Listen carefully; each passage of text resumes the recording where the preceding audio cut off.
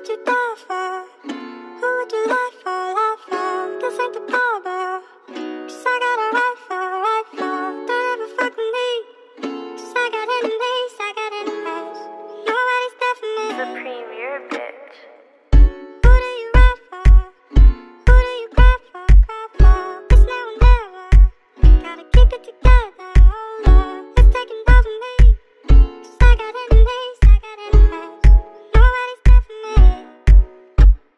So Father, forgive me for you know that I'm no sinner.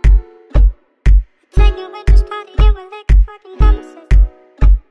Excuse my language, that's a hang up on how shitty I be feeling. Sorry, I feel no attraction in none of these men around. Cause I've been so long.